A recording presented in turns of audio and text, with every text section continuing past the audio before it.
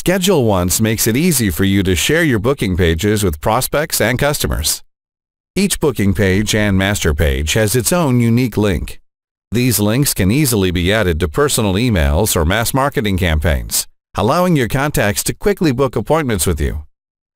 Links that you share with your prospects and customers can either be general or personalized. General links require your customers to identify themselves by filling in their personal details during the booking process. With personalized links, prospects and customers click on your link and pick a time, without having to provide any information that is already known to you.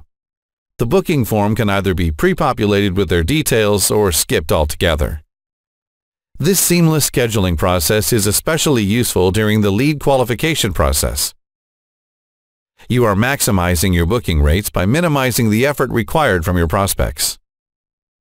Now let's have a look at how you can create personalized links. There are several methods to personalize links depending on how you are sending the link to your contacts.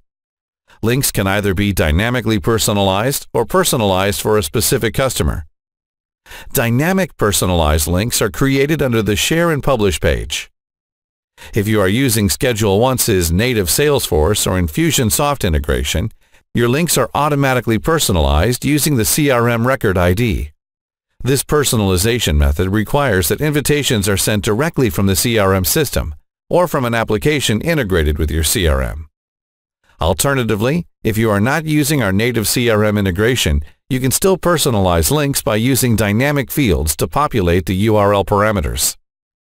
Dynamic personalized links using URL parameters can be sent through any email marketing app that supports merge fields. If you simply want to set a personal invitation from your email, the link can be personalized using static fields. To create this link, use our URL builder in the overview section of the booking page. Simply fill out the contact's name and email address, and you are good to go. To learn more about sharing your booking pages, visit our features section and start your free trial today.